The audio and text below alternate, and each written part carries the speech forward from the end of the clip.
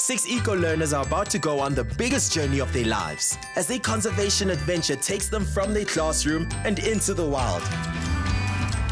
They'll experience nature like never before, discover how to look after the world they live in, and be inspired to share their stories with others. This is Eco Club. My name is Ntokozo. I'm 13 years old. I'm doing grade 7 at Mdula Primary School. I love jokes. I love playing. I love playing netball, but I'm not as good as it. And she's my friend. We started being friends at grade 6 class. And I think she's not shy. And she's very clever. More than anyone in class. I love her. She understands me, and we do jokes and laugh together.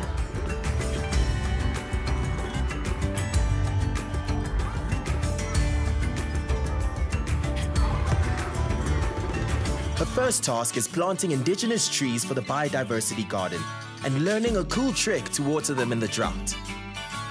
As you can see, they are plant trees. They teach us more about these trees. So I'm going to be telling you about this very special tree. In English, lavender tree. In Zulu, umkhuze. We dig a hole and we put some manure and soil, manure, soil, and I think five times. Then we then then we put the tree and we cover it with soil and manure and it was wonderful. Now that we've got the tree in the right place in the middle of the hole, we need to make sure that it's going to be getting enough water. So can you see this bottle? It's got holes in it, right? Yes. So we're going to be using that for watering.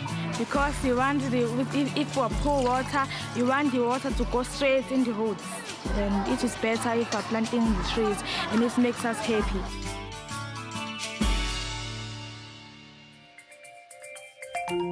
Ntokozo and her friends really enjoyed the uplifting gardening experience and shared a moment together. Now it's time for the big adventure. I was very happy when I see the green grass coming. I was just excited. And I've been so happy in my life like that. We get into the bus, we were singing, dancing songs, just enjoying our first day going to the game reserve.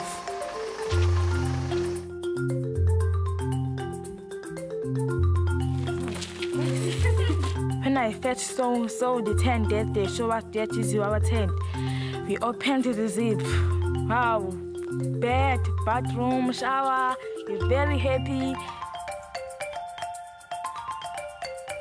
The clouds are thick and rain fell all morning. After it cleared, everyone was out to start the Eco Club activities. Our activities highlighting uh, the importance of uh, the learners understanding the connectiveness of all forms of life. I think we highlight that very well with the game of the food web. I know a little bit, but I didn't know that animals contract each other. If these animals or something die, it will affect the other animal. Like if, if, the, if the grass dries, if it will affect the zebra, and the zebra if dies, it will affect the lion. Just like that, it's the food chain.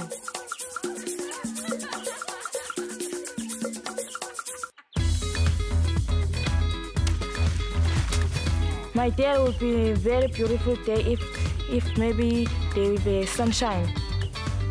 So it is raining, cold.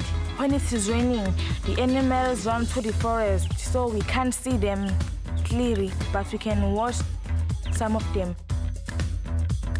The weather cleared and off they go into the wild, splashing through puddles along the way.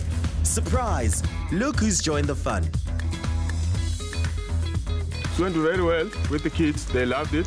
They have a lot of fun. They were very excited about the game drive. When you do like show them some little things, uh, they, they become very happy. But I'll be happy that in my life, This will be my first time seeing the lion with my nickname.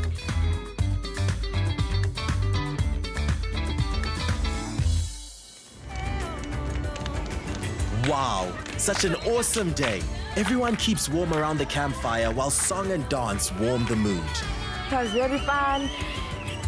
And I learned more about our community and how to take care of our environment. I learned more about it. About it.